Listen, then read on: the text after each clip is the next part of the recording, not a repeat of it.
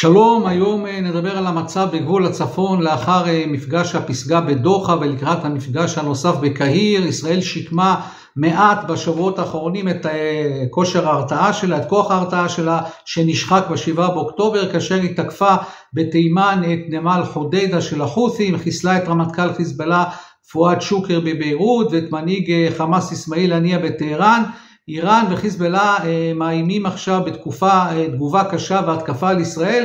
בינתיים זה לא קורה מכמה סיבות. סיבה ראשונה בגלל שהן חוששות מתגובה צבאית ישראלית קשה על לבנון ועל איראן אם ייפגעו אזרחים ישראלים. דבר נוסף, חשש איראני מכוחות הקואליציה הבינלאומית שריכזה ארצות הברית באזור. הדבר השלישי, מדובר בלוחמה פסיכולוגית של איראן וחיזבאללה כדי למרוט את העצבים של תושבי ישראל. חסן נסראללה הודה שהשעיית ההתקפה היא חלק מהעונש, ככה הוא קרא לזה, העונש של ישראל, אה, בגלל חיסול אה, פואד שוקר, וגם כדי לתת אה, סיכוי למשא ומתן העקיף בין ישראל לחמאס, כדי להגיע לעסקת חטופים והפסקת אש ברצועה. הן לא רוצות להיות מואשמות בכך שהן טרפדו את הפסקת האש וגם אין להם רצון לא לאיראן ולא חיזבאללה להיגרר למלחמה אזורית. מבחינה אסטרטגית זאת תהיה טעות גדולה מצידה של ישראל לא להנחית מכת נגד מקדימה לחיזבאללה במקום להיכנס לתקופת המתנה שפוגעת במורל של אזרחי ישראל.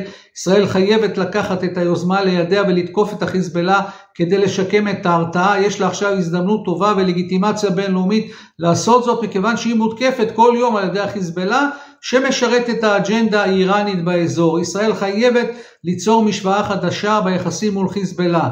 נסראללה מנסה להפחיד את ישראל ולהרתיע אותה באמצעות פרסום אה, סרטוני וידאו של צילומים שעשה כטב"ם אה, חיזבאללה בתוך שטח ישראל, גם סרטון חדש על פרויקט עימד 4 של המנהרות והטילים של חיזבאללה.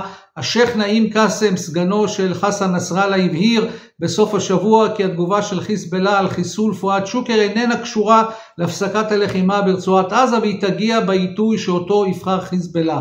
גם עבד אל מאלק אל-חות'י, מנהיג החות'ים בתימן, חזר על אותה עמדה בדיוק.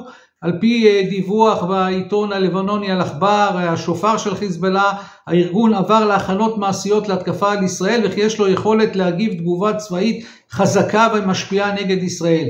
גם אם יושג הסכם הפסקת אש ברצועת עזה, דבר שלא נראה כרגע באופק, ישראל לא תוכל להחזיר את עשרות אלפי המפונים לבתיהם בגבול הצפון ולאפשר לכוח רדואן של אה, חיזבאללה להתבסס מחדש על הגבול בניגוד להחלטה 1701 של האו"ם.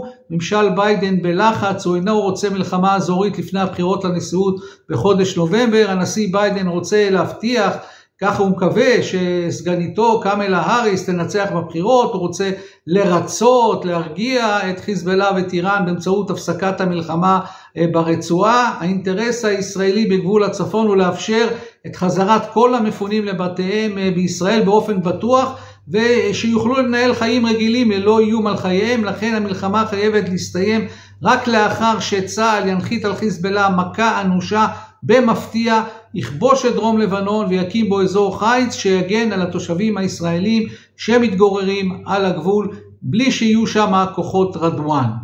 אני מודה לכם, אנא שתפו את הסרטון הזה בכל הדרכים האפשריות. תודה.